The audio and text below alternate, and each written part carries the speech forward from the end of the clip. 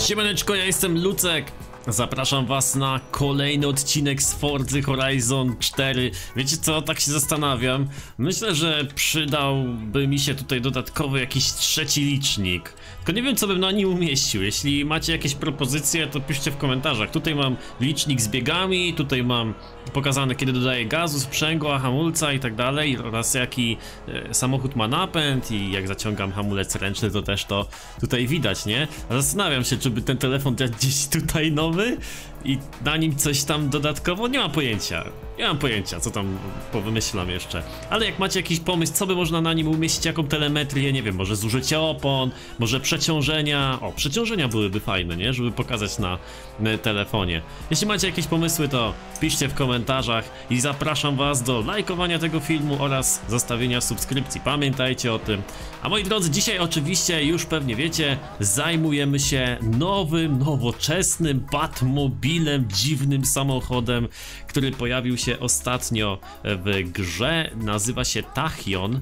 Dokładna jego nazwa to Tachyon Speed. Taka jest jego nazwa. Weźmy go sobie, zobaczmy jak się nim jedzie. Ile ma, w ogóle ma jakieś biegi? Jak to wygląda tutaj? Mamy jeden bieg do przodu, jeden bieg do tyłu. Patrzcie, mam tutaj takie światełka na dole. Widzicie, jak włączamy wsteczny, to nam się włączają te wsteczne światełka. Już sobie wcześniej robiłem taki przedsmak tego samochodu, kiedy był dostępny w e, Forzatonie. Tutaj na końcu można było go sobie przetestować bez zdobywania go. Teraz sobie zrobiłem tą playlistę festiwalową i dzięki temu osiągnąłem 50% wykonania tej playlisty festiwalowej i samochód trafił do mojego garażu, także w końcu mogę sobie nim pojeździć tak ona spokojnie, zobaczyć co on potrafi.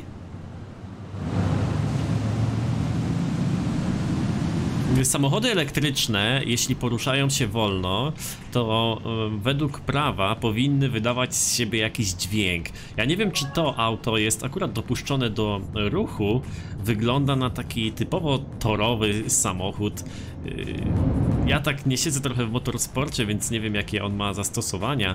Natomiast możecie zwrócić uwagę, że tutaj kokpit wygląda dość surowo, nie? Jakby mamy takie podstawowe parametry, mamy, zobaczcie po prawej, zaraz sobie wejdziemy w Forza Vista i zobaczymy jak to wygląda no, już tak w przybliżeniu, wszystko ładnie.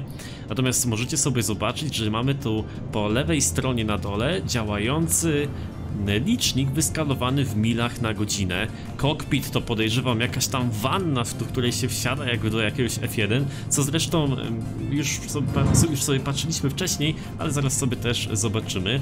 Tylne lusterko to nic innego jak kamera e, z tyłu, właściwie lusterka fizyczne również tutaj mamy po bokach. Mm, I ciężko mi powiedzieć, czy to są lusterka, czy to są kamery, ale chyba lusterka będziemy mogli ten samochód zaraz sobie dokładnie obejrzeć, to to ogarniemy. Teraz chcę wam pokazać jak działa ten kokpit.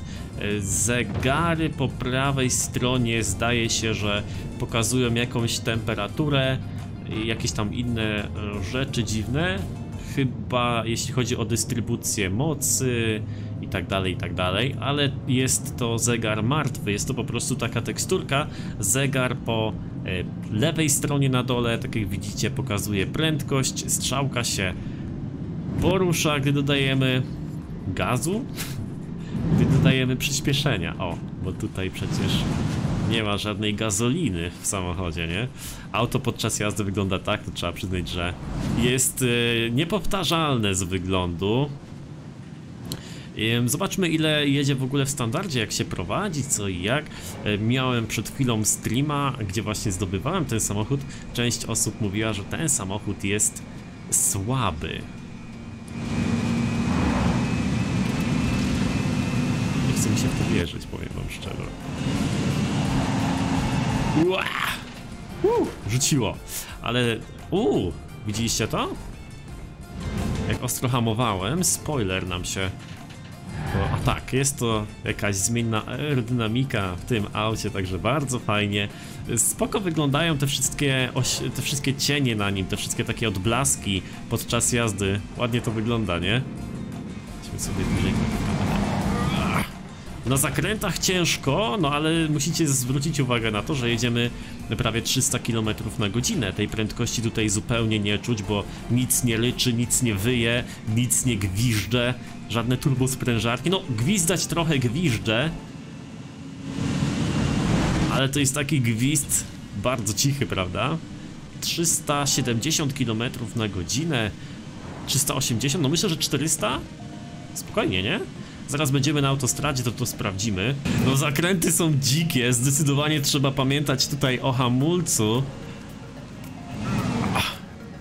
Zdecydowanie trzeba odpowiednią prędkość dobrać i często na ten prędkościomierz się patrzeć, bo przyspieszenie jest nieziemskie i nie wiesz kiedy masz już na budziku te trzy paki, naprawdę bardzo, bardzo żwawy samochód, jednocześnie na zakrętach wydaje się taki ciężki w prowadzeniu, ale to właśnie dlatego, że Wydaje mi się, że to właśnie dlatego, bo jest chyba trochę ciężki ze, ze, względu na pakiety baterii, a z drugiej strony, no ciężko wyczuć z jaką my tutaj prędkością się tak naprawdę poruszamy, bo tak jak mówiłem, nic nie wyje, nic nie huczy, nic nie buczy, nie? Dobra, sprawdźmy. Zobaczmy jak wygląda start. Tutaj mamy napęd, tak jak widzicie, AWD, czyli na cztery koła. Uwaga. Kapcia nie spalił, nie? Na cztery koła. Nie jest to Rimac Concept 2. Nie mam tutaj włączonej kontroli trakcji, więc jeśli by miał jakąś przesadzoną wartość mocy do startu, to na pewno by te koła straciły przyczepność. Uh. Dobra, 300. I to chyba tyle. 308. Myślałem, że 400 w standardzie się pojawi, a tu wygląda na to, że na tym koniec. Nie mamy tu drugiego biegu, zdaje się. Nie mogę go wrzucić łopatką. No ciężko było wyrobić, ale gdybym lepiej podjechał do tego zakrętu, myślę, że dałbym radę się zmieścić. Tak właściwie zastanawiam się, bo jak wciskam tu sprzęgło, ale zobaczcie, jak wciskam sprzęgło, to nic się nie dzieje, nie? Więc chyba bez problemu mogę sobie wrzucać jedynkę.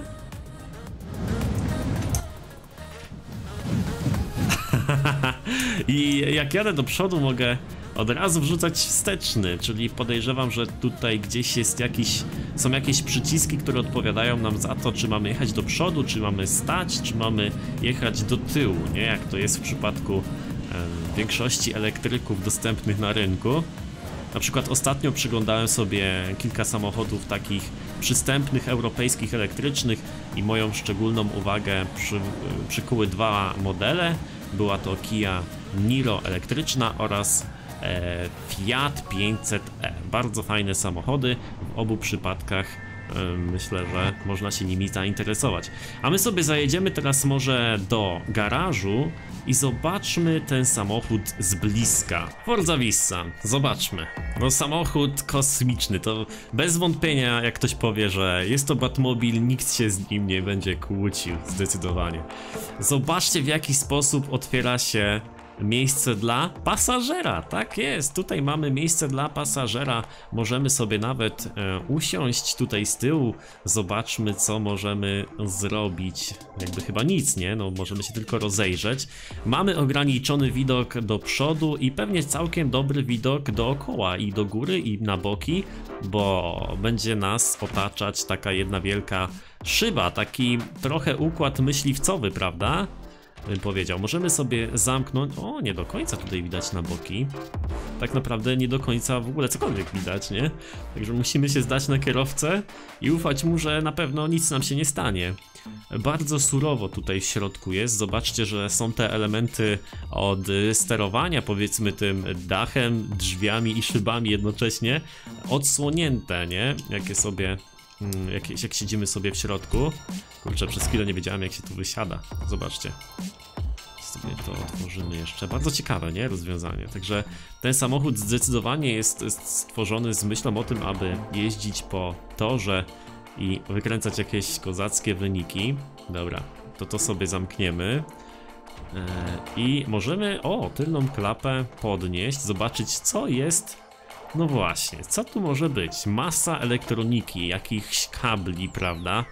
Wszystkiego kupa. ale no jest coś tam z tyłu, cała ta instalacja, cały ten chyba napęd i zestaw baterii. Może zestaw baterii jest właśnie na dole, pod samochodem? Nie mam pojęcia, przeważnie tak w elektrykach jest to instalowane, nie?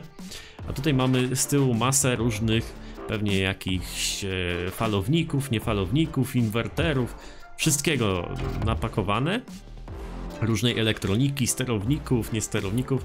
No ale na dobrą sprawę to jest tylko chyba jedyne takie skomplikowanie w takich autach elektrycznych, biorąc pod uwagę.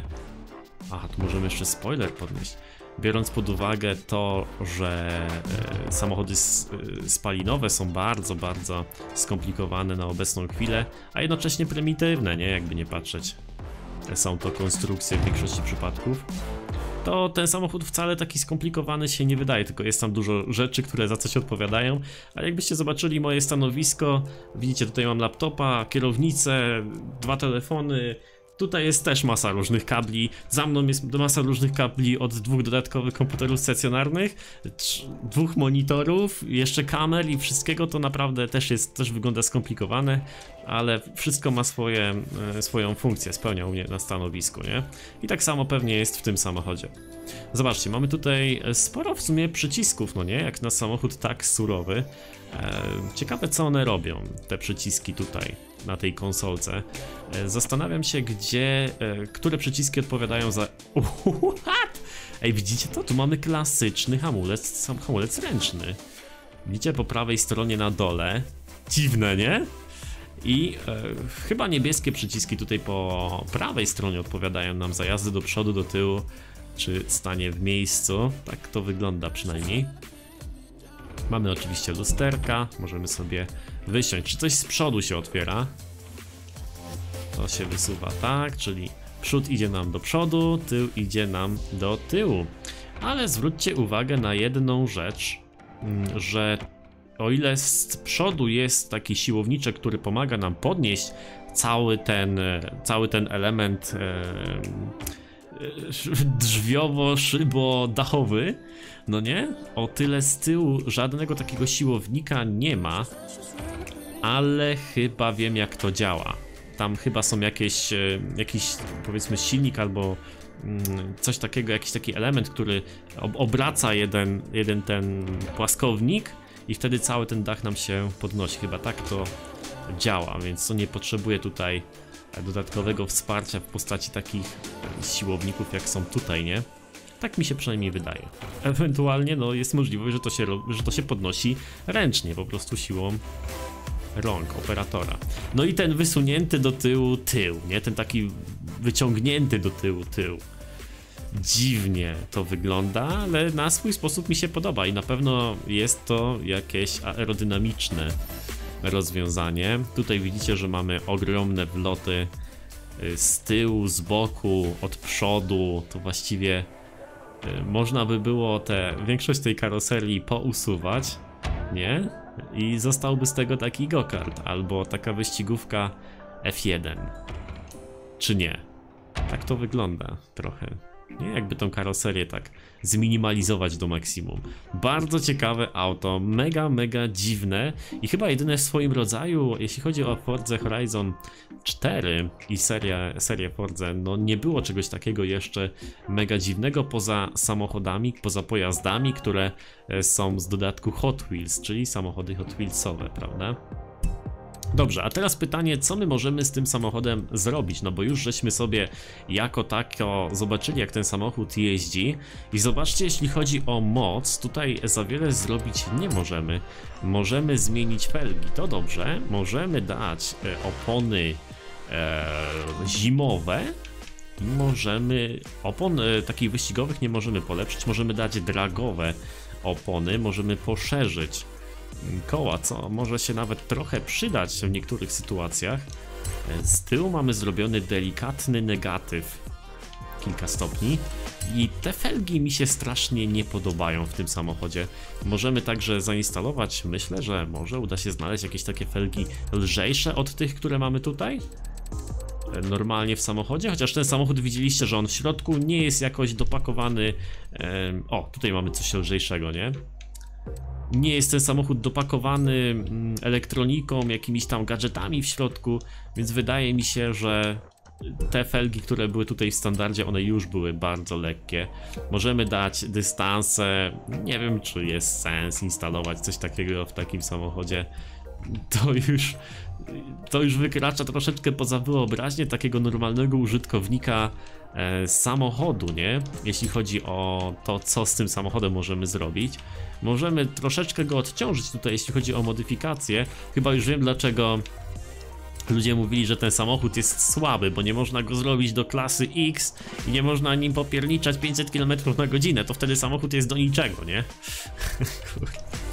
tak, możemy go znacznie odciążyć, zobaczcie, możemy, wow, 1300 kg wagi. Jak na e, pojazd elektryczny takich rozmiarów, to jest naprawdę bardzo, bardzo mało i teraz to mamy zrobione, to mamy zrobione i właściwie tyle, to już koniec tuningu jest, moi drodzy. Zobaczcie, udało nam się o ponad 100, no nawet 150 prawie kilogramów wagi zejść. Moc to jest 933 kW. Także wow, to jest naprawdę potężna maszyna. Jeśli chodzi, jeśli chodzi o aerodynamikę, to tutaj zdecydowanie bym e, zwiększył docisk dla Fordzy, dlatego że jest, e, no, ten samochód raczej nie nadaje się do osiągania jakichś większych, ogromnych prędkości, a zdecydowanie nadaje się do tego, aby wychodzić z zakrętów z dużą prędkością, nie? Żeby szybko się do tej, powiedzmy, optymalnej prędkości rozpędzać. Tutaj moglibyśmy coś jeszcze pokombinować z dyferencjałem, na razie zostawię go standardowo. Uuu, tutaj możemy jeszcze znacznie samochód obniżyć. Nie wiem, czy chcę to robić. I mamy e, zrobiony, tak, negatyw kilka, no jeden stopień z tyłu, jeden z przodu. Mnie się to wizualnie nie podoba, ale wiem, że to ma zastosowanie wyścigowe, żeby samochód lepiej radził sobie w zakrętach. No i jest gotowy, zobaczcie jak to wygląda. Nie wiem po co, yy, ja mam taki, taki nawyk, że po prostu za każdym razem kiedy stoję w miejscu i chcę ruszyć to wciskam to sprzęgło, ale tutaj jest to niepotrzebne, mimo że mam włączoną skrzynię biegów ze sprzęgłem, także bardzo ciekawe e, w tym samochodzie to jest, że nie musimy tego sprzęgła używać. Nie zrozumcie mnie źle, po prostu w Fordzie nie ma czegoś takiego, że jak mamy na przykład samochód, który nie występuje w, z shifterem, a występuje tylko ze skrzynią automatyczną, gdzie włączamy sobie D i jedziemy, to i tak możemy tego hashiftera używać i zmieniać biegi, co jest moim zdaniem bardzo słabe, bo grając na przykład w Beam NG Drive, taką inną fajną grę mm, o samochodach, to tam na przykład nie możesz używać hashiftera e, w samochodzie, który w standardzie ma tylko i wyłącznie skrzynię e, automatyczną, wiesz, taką zwykłą automatyczną, powiedzmy Ford Crown Victoria, nie? On nie ma tam żadnych łopatek, hashiftera, nic takiego, tylko po prostu automat i tam nie możesz hashiftera używać. W Fordzie możesz to robić i dlatego to jest ciekawe, że w tym aucie nie musimy używać sprzęgła, nie?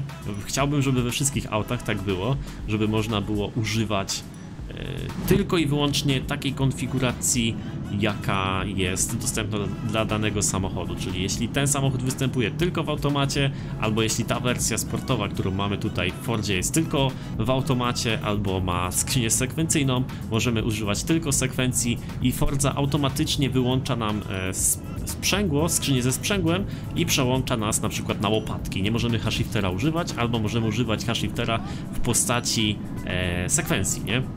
Bez sprzęgła. Tutaj musimy sobie, na przykład jeśli gramy online i chcemy wybrać sobie samochód jakiś z, z, z, z sekwencją, a mamy ustawiony w ustawieniach e, hashifter, no to Forza nam automatycznie tego nie przełączy. Fajnie by była taka opcja, która po włączeniu automatycznie by nam to przełączała.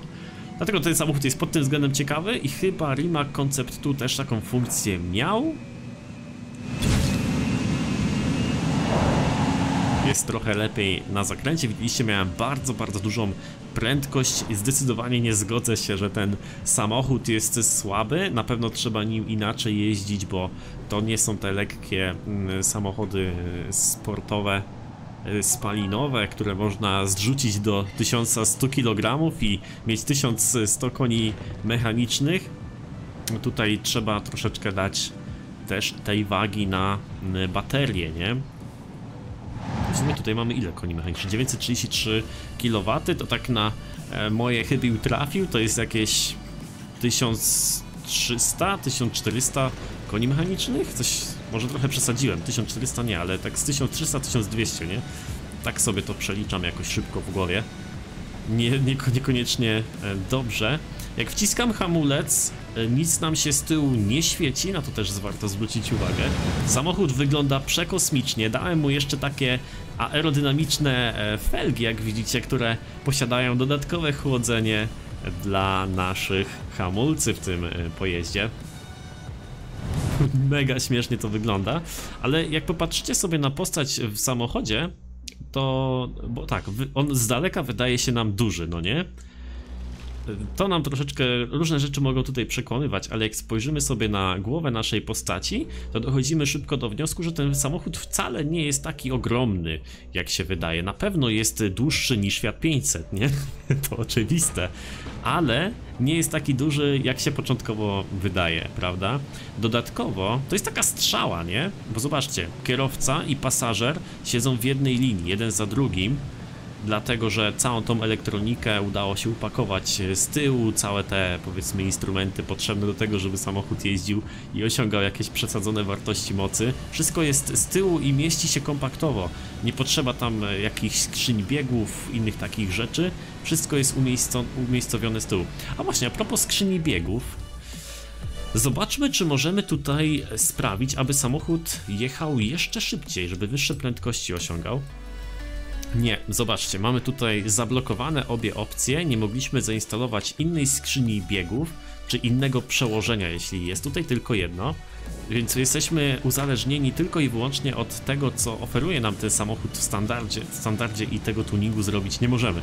Na to warto zwrócić uwagę, bo wydaje się, że samochód mógłby znacznie szybciej e, jeździć, znacznie, znacznie wyższą prędkość maksymalną osiągać, nie? Dobra, wiecie co? Pomimo napędu na cztery koła, myślę, że ten samochód zdecydowanie nie nadaje się do tego, aby jeździć nim w zimę. Dlatego sprawdźmy, co on tak naprawdę potrafi, gdy będziemy sobie już jechać w idealnych warunkach, w lato. E, teraz mam zwiększony ten docisk, więc wjeżdżając na autostradę nie oczekujcie, że osiągnę tutaj jakieś e, wielkie prędkości. Weźmy sobie na chwilę widok z kokpitu. Czuć ten, słychać ten szum, nie?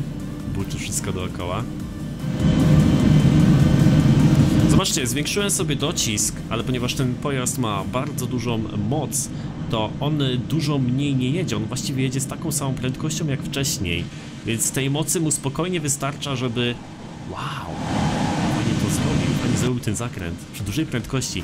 Tej mocy spokojnie by mu wystarczyło do tego, aby pokonać... Yy jeszcze większe prędkości, żeby osiągnąć jeszcze większe prędkości i on spokojnie pokonuje ten jeszcze większy docisk aerodynamiczny w tym momencie, który mamy włączony. Widzicie, że jak wjechałem do tunelu, tylne światła nam się na chwilę włączyły, więc w nocy pewnie byłby ten samochód jakoś oświetlony, ale... A nie, coś się świeci, zobaczcie. Tylko musimy chyba w nocy jeździć, żeby coś się nam z tyłu zaświeciło, nie? Naciskam hamulec nożny. Bardzo ciekawe. No dobra, a teraz chodźmy sobie na zakręty. Zobaczmy, co ten samochód potrafi. No jest. Jest takie dziwne uczucie, że... Że trzeba jednak tą prędkość zredukować na zakrętach. Zobaczcie, trzy paki jadę, tak? Także to nie jest mała prędkość.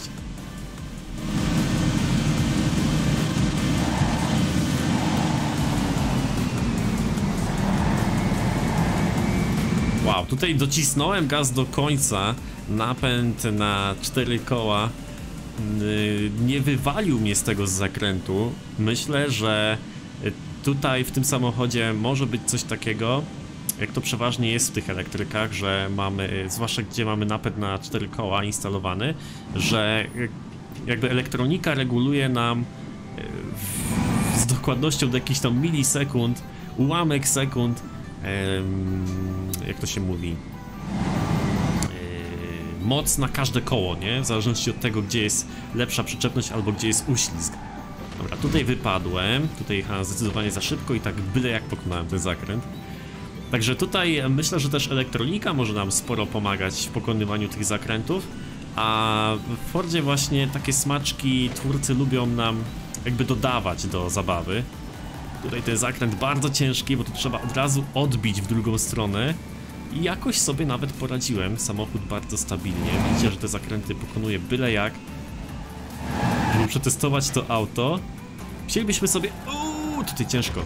Musielibyśmy sobie Goliata nim przejechać. Myślę, że, myślę, że ten samochód mógłby się nadawać na Goliata.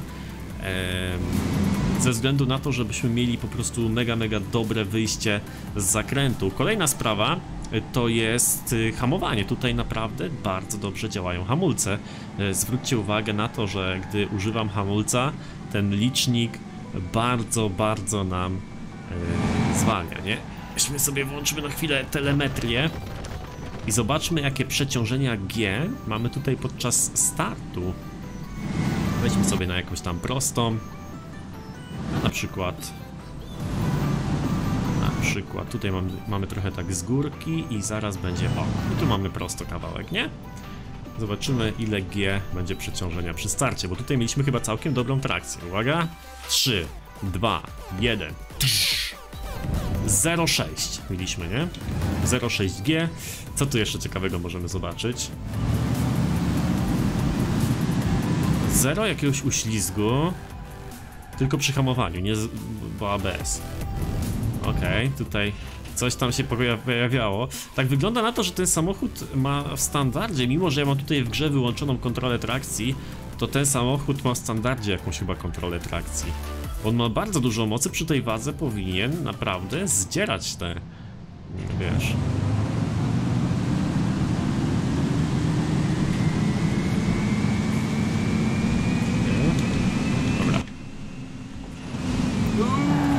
Dobra. To zaklęcie hamowałem, to już kaplica. Dobra, co tu jeszcze możemy zobaczyć? Ciśnienie, to nas nie interesuje za bardzo. Temperatury, no i uszkodzenia nas nie interesują. Także ciekawe, ciekawe auto, zdecydowanie warto je sobie zdobyć, zdobywajcie, bo ono będzie niedostępne. Niedostępne jest także do kupienia w sklepie. Warto sobie to sprawdzić. Auto wygląda na to, że jest bardzo fajne. Ja sobie nawet specjalnie sprawdzę na multiku, jak będzie jakaś klasa S2 szosowe, jakieś wyścigi. Wezmę sobie to auto i sprawdzę, jak ono się spisuje. Właściwie moglibyśmy jeszcze dać tutaj jakiś inny kolor tego pojazdu, nie? Tak jadąc nim i patrząc na niego, ach, tak mam wrażenie, że jakbym jechał takim myśliwcem, gdzie zostały ucięte skrzydła, wycięty i zaślepiony, wiesz, silnik rakietowy, nie? Czy tam, jaki tam silnik jest rakietowy, czy odrzutowy, to się chyba mówi. Rakietowy jest w, w rakietę. Co ty, jest. Czekaj, tutaj chyba jest ta... O tak, tu jest ta fajna prosta. Ręczny działa, no bo widzieliście, że mamy tutaj ręczny, normalny taki, wiesz... Klasyczny, nie? To jest ciekawe. Auto z jakiejś, wiesz, przyszłości, a klasyczny ręczny. Tutaj mamy taką fajną prostą z hopką.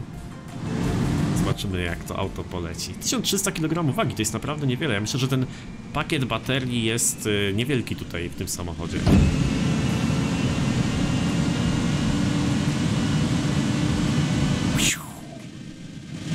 No i zamieniliśmy się na chwilę w myśliwca, prawda? mega, mega fajne auto. Znaczy auto. Nie wiem, czy to można mówić na to auto? Mówię, to jest taki kurczę myśliwiec. O, przy okazji zajechałem na chatę do domu na kawę. Chyba się nie spóźniłem. Z takim autem spóźnić się to wstyd, nie? Moi drodzy, bardzo wam dziękuję, że byliście na tym odcinku. Kolejne dziwne auto zawitało do Forzy Horizon 4. Mam nadzieję, że cieszycie się tak jak ja. Łatwo dosyć jest je zdobyć. Możecie sobie obejrzeć mojego, mój zapis z live'a, jeśli chcecie zobaczyć jak to zrobić, a polecam wam to zrobić, bo samochód zdecydowanie będzie można później albo drogo sprzedać, albo po prostu mieć niespotykane fajne autko w grze. Trzymajcie się, hejos!